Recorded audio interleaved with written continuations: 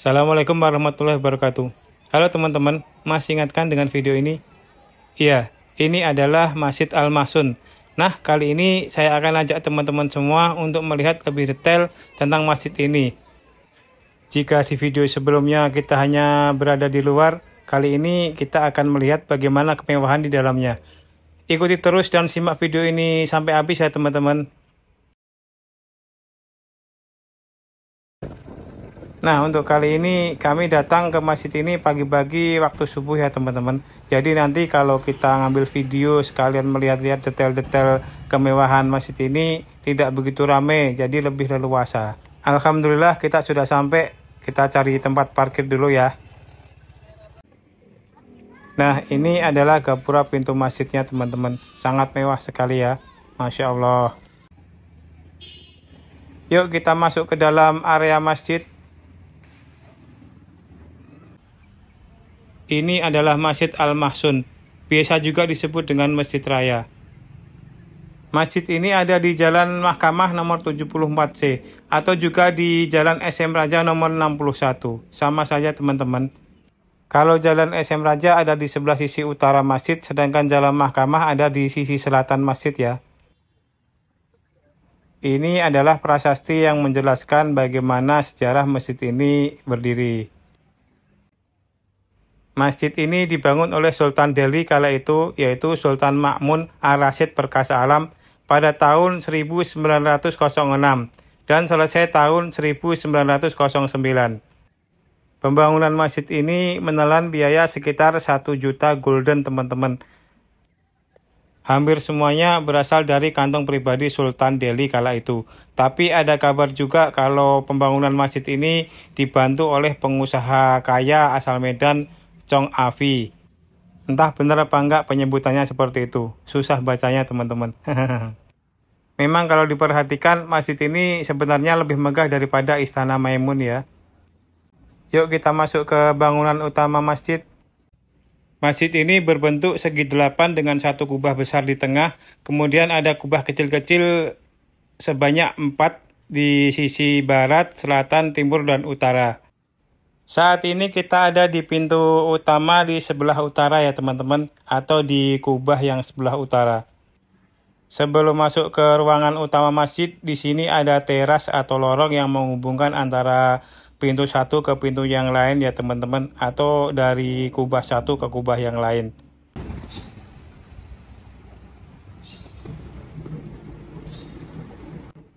Nah, kalau ini adalah pintu yang sebelah timur atau di bawah kubah kecil yang sebelah timur ya teman-teman. Desainnya kurang lebih sama dengan yang pertama tadi.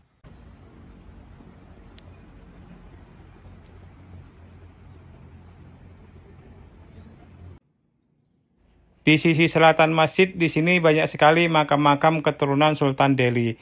Jadi kalau seumpama ke masjid ini bisa sekalian ziarah ke keturunan Sultan Delhi di sini ya teman-teman.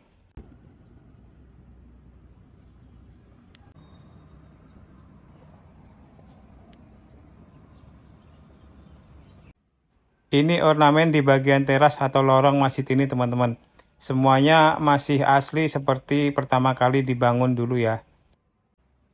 Sekarang kita coba masuk ke bagian ruang utama masjid. Kita lihat di sana ada apa aja ya. Kita sudah di dalam teman-teman. Hiasan dan ornamen yang ada di dalam masjid ini masih orisinil teman-teman.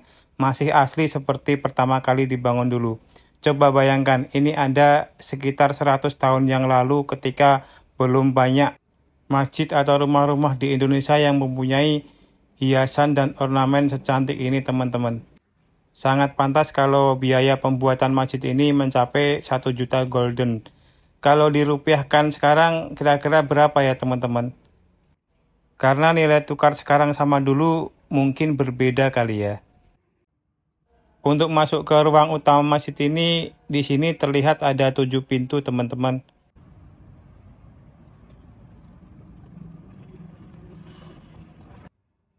Arsitektur masjid ini adalah perpaduan antara arsitektur khas India, Spanyol, dan Timur Tengah.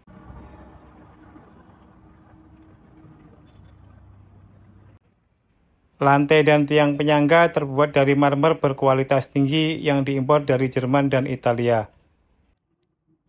Kualitasnya sangat bagus sekali ya, bahkan sampai 100 tahun lebih kondisinya masih cantik seperti ini.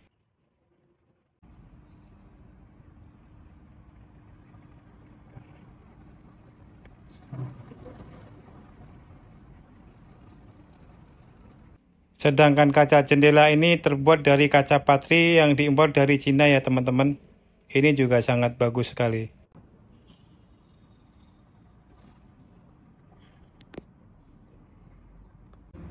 Termasuk lampu gantung ini diimpor juga dari luar negeri, tepatnya dari Perancis.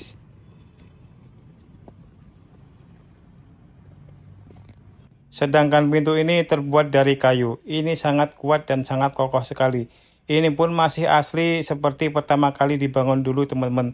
Memang masih dipertahankan sampai sekarang.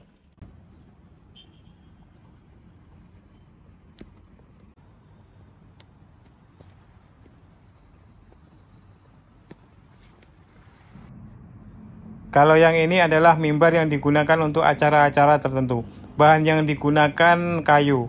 Sedangkan untuk ukiran dan arsitekturnya ini lebih ke khas India ya teman-teman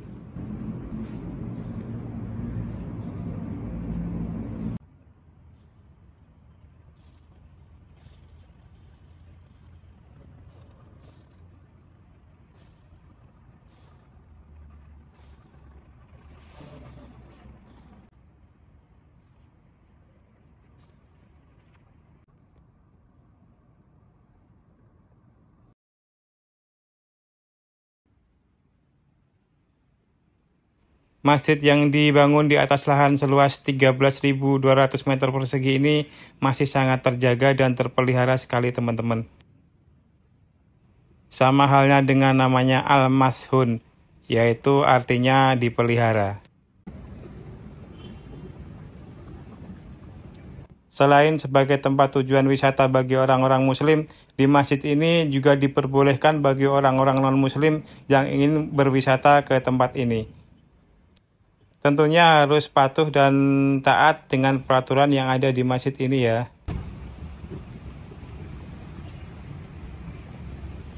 Sekarang kita coba masuk ke tempat wudhu pria ya teman-teman. Kita lihat bagaimana di dalamnya. Nah ini tempat wudhunya. Masih sangat bersih dan terjaga sekali ya.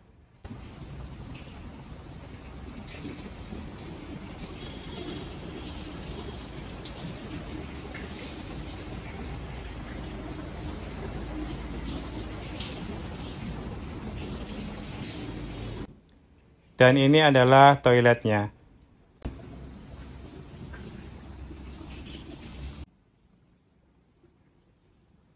Jadi tempat wudhu dan kamar mandi ini bangunannya terpisah dari bangunan utama masjid ya.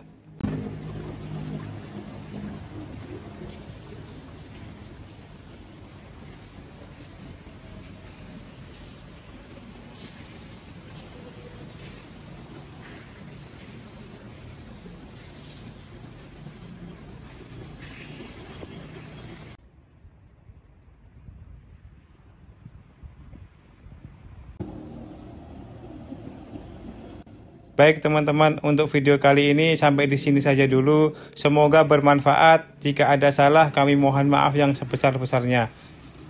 Terima kasih sudah menonton. Sekian, wassalamualaikum warahmatullahi wabarakatuh.